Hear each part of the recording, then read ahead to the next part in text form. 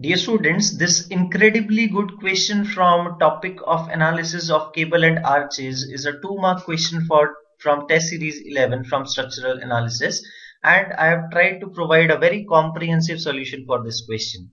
Here it is given that there is a three hinged arch which is hinged at springings. These two points are called as springings and topmost point is called as crown of the arch and three hinges are provided.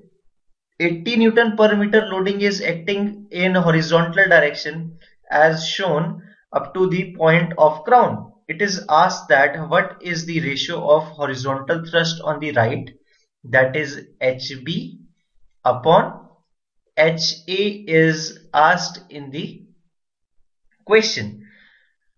Let us start with finding the unknown forces in this structure first of all because yes this is a statically determinate structure because of introduction of hinge at the topmost point or crown of the arch. We will take summation of moments about point A because of external forces to be 0.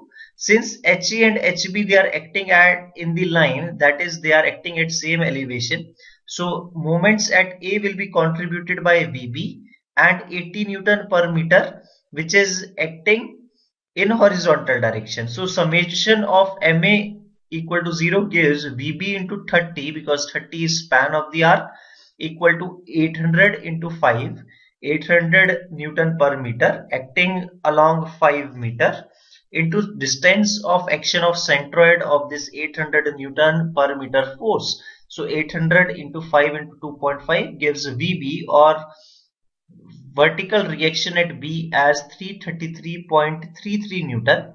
Now, if we talk about point C, we know that moments about hinges from either side is equal to 0. So, if we talk about the right hand analysis or forces involved in right side of C, taking moments about C, right equal to 0, only VB is acting and HB is acting. VB is known, HB is unknown.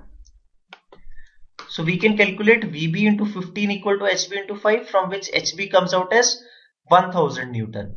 Now how to compute HA? We know that summation of forces in horizontal direction they have to be equal to 0. So HA comes out as 4000 minus 1000 that is 3000 Newton. So ratio reduces to 1 is to 3 making B as the correct choice for question 33. Thank you.